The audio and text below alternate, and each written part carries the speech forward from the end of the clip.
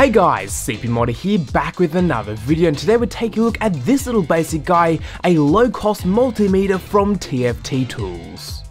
So let's face it, if you work on computers and little electronic devices, chances are you've had that moment where you really need a multimeter. Whether you want to find the voltage of some random wire or just want to do some troubleshooting of your device. And let's face it, multimeters can be quite expensive, with mine clocking in at well over $200 right here on Amazon. So how does this basic $10 unit perform and is it actually worth it? Kicking things off in the design department as we usually do, we find this guy is made out of a rather rugged plastic design. Whilst it isn't metal, it actually feels fairly solid and something that I would have no worries chucking in my toolbox. There's a somewhat tough rubber outer shell that will help to protect this guy in the chance of a drop or any sort of impact. Peeling off this blue outer shell, it reveals the smaller black body of the actual multimeter itself, which even by itself is actually still fairly rugged feeling. On the back we find ourselves a ton of warning symbols and logos and warnings and stuff like that. And just as a quick side note, the actual smell of the inside of this guy for some reason smells like burnt Skittles mixed with like toxic plastic. Not the nicest smell, but definitely just a quick side note. But jumping around to the front of this guy, we find ourselves more plastic, the screen, a power switch, and also to our mode dial, and that about rounds out the front face. The mode dial itself has a ton of different modes which are usually found on most multimeters, including our 9 volt mode mode, which is what most of us will be running it at. Down below are our positive and negative terminals, both of them for our leads, and speaking of our leads, they do come in with a decent length and also to have nice little tips to help us get into small device. Inside this guy we have a fuse rated for 500 volts or 200 milliamps, also too in there we find ourselves our 9 volt battery. This guy's also to a category 2 rated device and has a million warning labels as I have already mentioned, but the biggest limitation of this guy is found inside it and that is the 9 volt battery.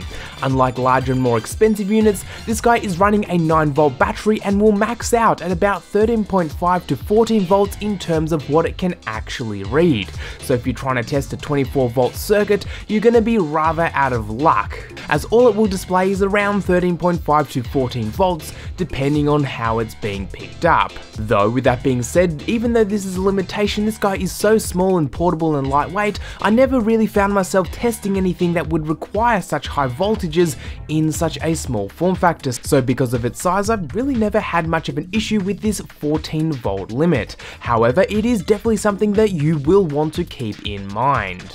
Powering this guy up, we find ourselves the UI is extremely clean and simple. Simply switching that switch to on will start our readout. There's no menu systems, there's nothing like that. Whatever you do switch that mode dial to is what it's going to be reading reading out. If you do plug in your polarities the wrong way, it'll just display a negative readout versus a positive readout, and you're pretty much set there.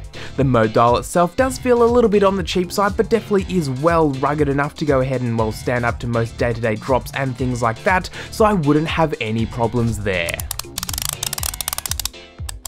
Once this device is turned on, powered up, plugged in and all ready to go, you should be able to measure whatever you need in less than 10 seconds from when you first turned it on, being extremely portable and extremely quick to use. Not to mention, it fits in your hand really, really well. For a small multimeter, I wasn't really sure about it, but honestly, holding it in my hand, it feels extremely sturdy and well, just feels fairly nice at that point. The tester wires themselves are decent, if not a little bit on the cheap side, but again, thanks to their small size and low voltage sensitivity, connectivity and makes them awesome for working on small types of electronics and small PCBs. On top of that, general household objects will also too benefit from this as you're able to measure the voltages of batteries and other small things like that without much issue.